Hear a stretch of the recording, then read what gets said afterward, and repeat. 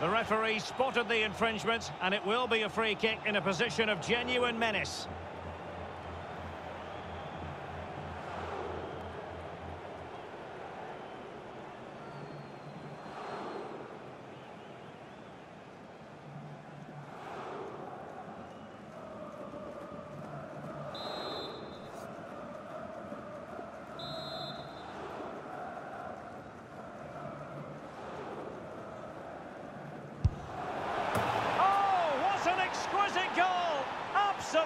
Perfection.